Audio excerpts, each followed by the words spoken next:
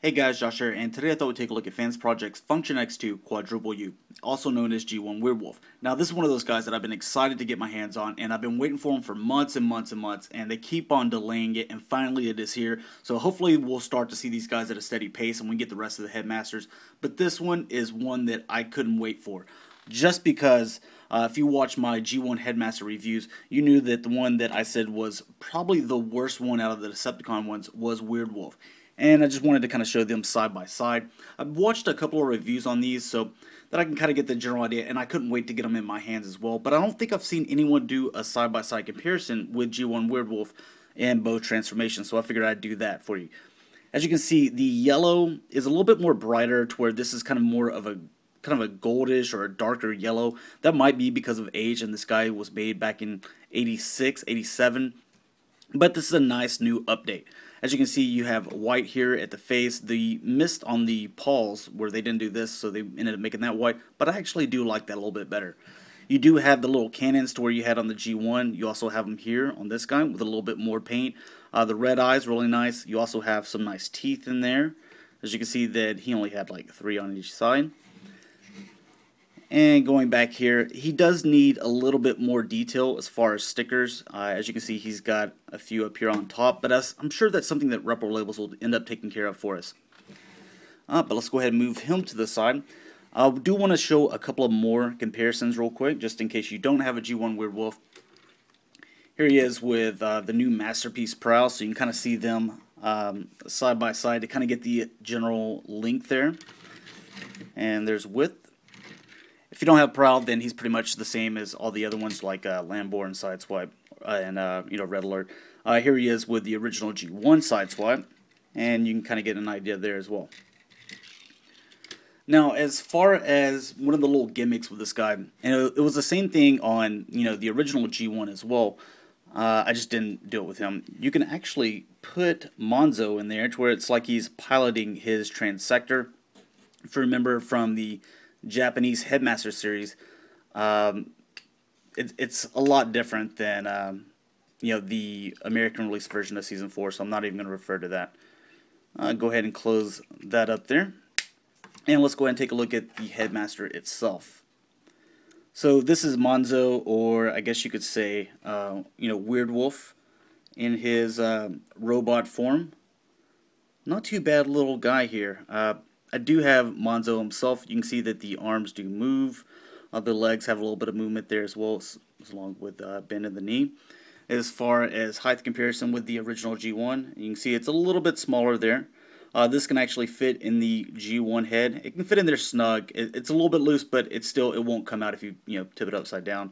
To where this one will not fit in your um, FansProject version. But to go and get them transformed, this one very simple. You'll just pull that back, flip that over, there's Monzo's head or Weirdwolf. With this guy, it's a little bit different, and it's a little bit different from the Chrome Dome figure that we had. This one, you're going to, it's already, you pull it out, make sure it's extended all the way, this little backpack section here. Then you can swing his feet around, and whenever you do that, it kind of lifts back this part. Then you can come down with that. And you can see that he's got his nice little visor. I'll try to give you a little bit better close up there. Really great head sculpt. I like this. This is one of my favorite ones. It's black, so it's a little difficult to see. You can see that he's got some yellow eyes under the underneath there. There we go. So I'll set him to the side. And we'll get into the articulation of this guy here. Uh, as far as his head, it does go up and down right here. Uh, doesn't go side to side. I tried to figure out a way to make it do that, but I couldn't see any way to make it go side to side, even though I thought I've seen some pictures of that uh, earlier. Uh, as far as his mouth, it does open and close, as you can see there, so it's pretty stiff. As far as his front arms, these can rotate here. Uh, they can bend right here. They can also rotate right here at this top section, and they can rotate here at the bottom section as well which is part of the uh, robot transformation as well. Little paws can go up and down. Uh, does have a little bit of waist movement right there as well. Uh, so you can kind of get them going to the side there, as you can see. Uh, with the back sections, you can rotate here, uh, bend in the knee, has that bend right there, and also in the paw as well. And they did the same thing with the sword, how they used it as a tail. This one doesn't have any movement, so it just kind of stays stationary to where the original G1 could go up and down. So that's one little thing, uh, actually the only thing where the G1's actually more articulated than this guy, but still fantastic looking figure. Really dig them. So let's go ahead and get into the transformation. Uh, hopefully I can remember how to do this. I've only done it once. But we're going to lift up on that section there. Uh, let me raise the camera up for you as well. Going to lift up on the chest, just like so. These bits right here, you kind of slide those out, and then they will slide up, just like that. This section here, go ahead and move that back. There we go. And I kind of bend it a little bit back there so the head can get a little bit of movement. Uh, we'll go ahead and separate here so I can take that tail out so you can see a little bit better. And with the arms, this section up here is pretty much all done. We're going to move the, these uh, forward, the little feet, and you can just rotate those. And there's the arms and the chest done. Now with the leg section, you can see that you can rotate it this way. This is going to be the front where the screws in the back uh, or in the butt. These this pull that out, do the same with this one, extend that, and pull that out. And with this, come down, come down, can come out in with these. So those will just fit flush just like so. This section here, you can see that it can has a little joint there. It won't go the opposite way, so it only has one way to go. And then there's these two little pegs that will just peg right in there and do the same thing with this one. Go ahead and swing that around. And we'll peg those two little pegs into the back of that. There's that foot. Move these legs around. And there is his body. Go ahead and attach his uh, head here And that's what I was talking about. The little legs kind of get the wolf head kind of gets in the way of the legs there. Uh, so I kind of lean it back a little bit. The articulation on this guy is absolutely fantastic. Uh, if we can get him to stand here, there we go. Uh, you can see that you can rotate the head, but you kind of have to bend it up. It has the same feature as Chrome Dome did, or uh, whatever his name was. I forgot code.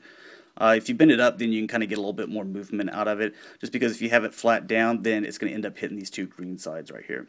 With the arms, uh, they do have a little bit of motion. You can go in quite a bit more than you could with Code or Chrome Dome. Uh, you do have a ball joint here, so nice, nice little bit of range of movement there. Same thing with the bicep swivel. You have the elbow bend, and then you can also bend or uh, rotate right here at the wrist. The hand, it can go in and out, part of the transformation of the wolf, and there's the thumb. So the, the hands, they really don't bother me. I, I think I've heard some people say that, you know, the hands are a little bit lame because they wanted robot hands, and these kind of look like just paws attached, but honestly, it's, it's perfectly fine. Uh, you do have waist swivel there. You do have, or yeah, waist swivel. Uh, the legs go back and forth. Not really in and out too much. Uh, it's a shame because he's supposed to be some kind of like little ninja, but uh, you can rotate here at the thigh, bend at the knee. He can also has a little bit of ankle tilt, not too much, but you can put him in some really nice poses, and we'll do uh, a couple here towards the end. Now we'll set him to the side back here. We'll get G1 transform real quick, and he's not too difficult.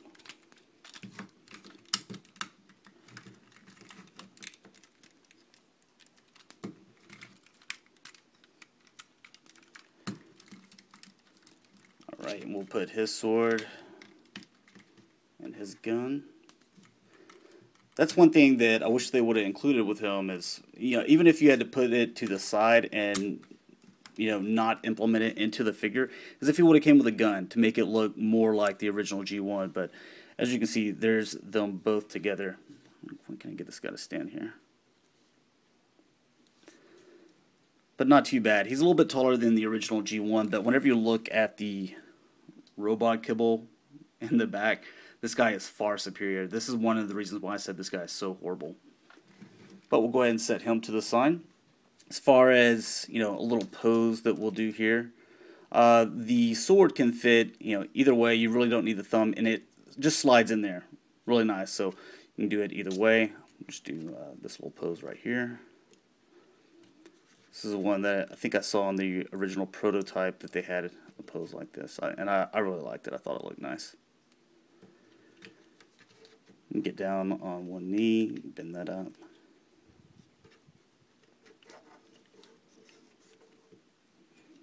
And just kind of tilt his head. I think that looks really cool. Or something like that. But not too bad of a figure. Um, here he is with a couple of other figures. As you see here is Masterpiece Red Alert.